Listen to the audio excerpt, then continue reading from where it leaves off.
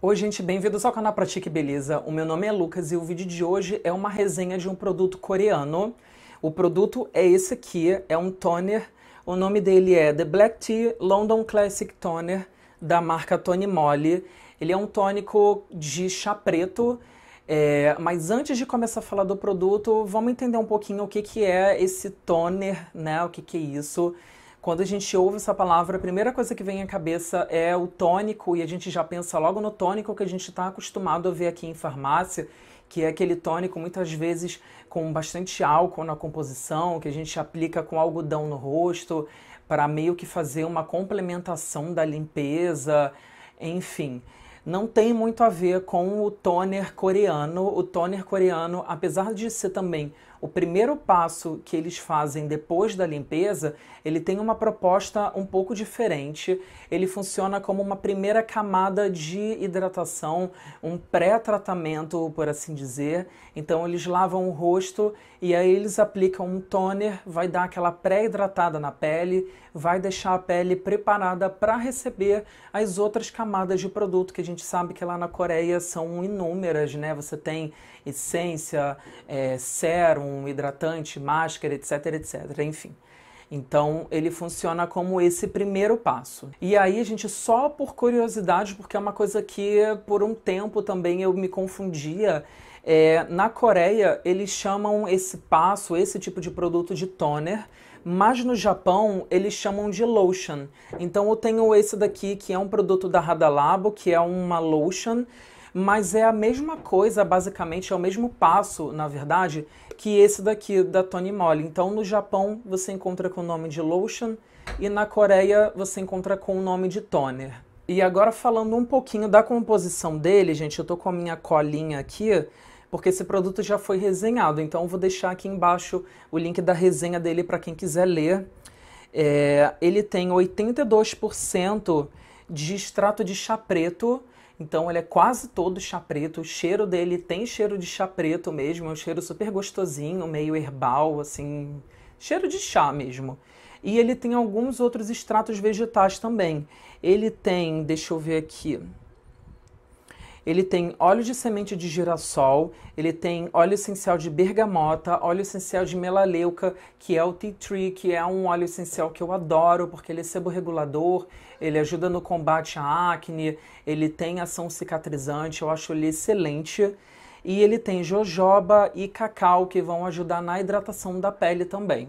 É uma fórmula bem interessante. O chá preto ele tem ali alguma propriedade antioxidante. Ele não é um super antioxidante, gente. Não é um, um resveratrol, uma vitamina C, mas tem alguma propriedade ali antioxidante. Ele tem ativos que vão ajudar na hidratação. Ele tem a melaleuca ali que ajuda um pouquinho é, na questão da oleosidade. Tem ação bactericida, enfim.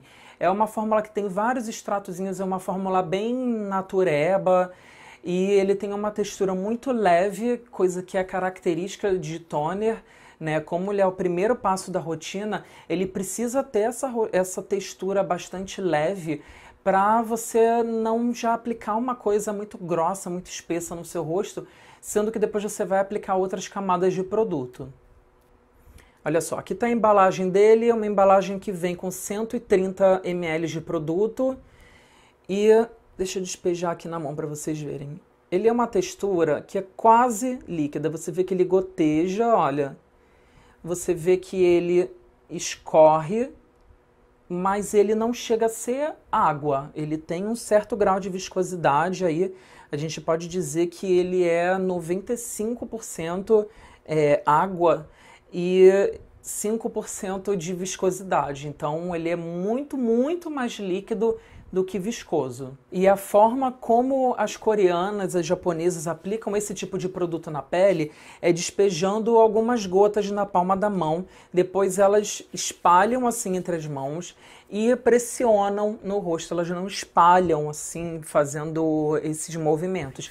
Elas pressionam como se você estivesse depositando o produto no rosto e aí você deixa a pele absorver o tratamento Eu mostrei a aplicação desse produto num outro vídeo que eu vou deixar linkado aqui em cima, que é um vídeo de rotina para pele oleosa, para dias mais quentes, uma rotina com produtos mais matificantes. Então tá linkado aqui em cima para quem quiser ver na prática como que eu faço para aplicar esse produto. E aí depois que eu faço essa aplicação, normalmente eu passo no rosto, no pescoço, é, eu deixo ele absorver e eu sinto a minha pele muito suave. Ele é praticamente 100% absorvido, ele fica completamente imperceptível na pele, não forma filme, não deixa grudento nem nada, e eu consigo sentir uma leve sensação de hidratação. Não é uma hidratação poderosa, se você tem a pele seca, esse produto ele não vai resolver a secura da sua pele, ele vai ajudar então você vai ter que passar algum outro produto por cima dele, né? Mas ele ajuda de alguma forma. Talvez alguém que tenha a pele que precise de muito pouca hidratação, só ele já consiga resolver, já consiga deixar a sua pele ali hidratado na medida. E aí, aonde a gente encontra esse produto? Essa marca não é vendida no Brasil, então eu comprei esse toner. Na verdade, eu não comprei, foi um amigo que trouxe da Coreia, mas eu pesquisei e ele é vendido no eBay custa uma média de 80 reais. Se eu não me engano, a embalagem que eu vejo vendendo no eBay é de 180 ml. Essa daqui é de 130, é um pouquinho menor. Mas a que eu vejo vendendo lá por essa faixa de 80 reais vem 180 ml. E a julgar pelo tempo que eu estou usando e a quantidade de produto que, que desceu da embalagem, eu tenho certeza que esse produto vai durar aí mais de um ano, usando todo dia, ali de 5 a 10 gotas mais ou menos. Então é um produto que tem um rendimento bem grande. E aí fica a dica se você está procurando um produto diferente para inserir na sua rotina, se você gosta desse lance de fazer camadas de produtos e de, e de utilizar produtos diferentes, ou se você está procurando um produto bem levezinho para ajudar na hidratação da sua pele, sem pesar, sem deixar é, textura pegajosa. Eu super indico esse toner, eu estou gostando bastante de utilizar ele. E eu uso ele, inclusive, gente, para fazer máscara de argila, como eu já cheguei a mostrar no Instagram.